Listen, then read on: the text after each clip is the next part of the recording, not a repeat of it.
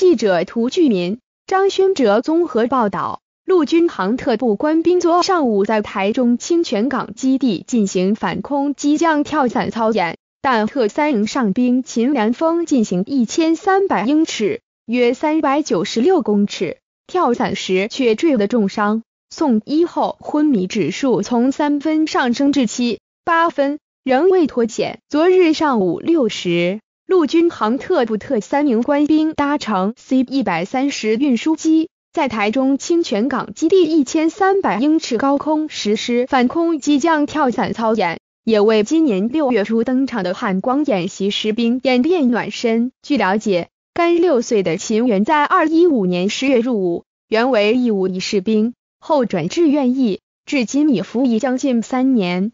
如加上昨日演训，已完成十一次跳伞，也有基本伞训的合格签证。昨日上午六时十七分。秦元与其他伞兵共七十六人于清泉岗基地上空先后跳出机舱，但秦元并未缓缓空飘，反而是朝地面快速向下坠。航空特战部政战主任武立文表示，自己从地面仰望，惊觉秦元主副伞虽有拉出，但都未完全张开，副伞也没吃到风。当他坠落草地上。在现场待命的医护人员赶紧上前抢救。同综合医院执行长卢丽华表示，秦元到院两分钟就恢复呼吸心跳，主要伤势集中在头颈部、胸部跟大腿，脑部骨折、蜘蛛网膜下腔出血、气胸等。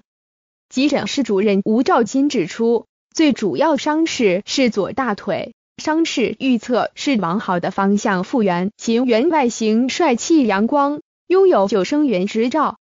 国防部长严德发闻讯后表达关切与不舍，指示参谋总长李喜明率专案小组前往调查。秦元父母及女友也赶往探视。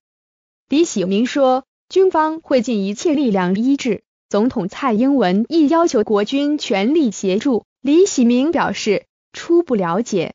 此次事件为主伞未完全张开，副伞受风不足，导致伞具半张开的状态。此次属单一事件，汉光演习的七成与进度不受影响。后续会针对所有细节做总检讨。航特部官员说，本案仍在调查，包括装备、伞具、天候因素都不排除，也可能是复合式意外。据了解。散训中心用散位 T 十散具，而航特部特三名官兵则使用操纵性更灵活的 MC 一散具。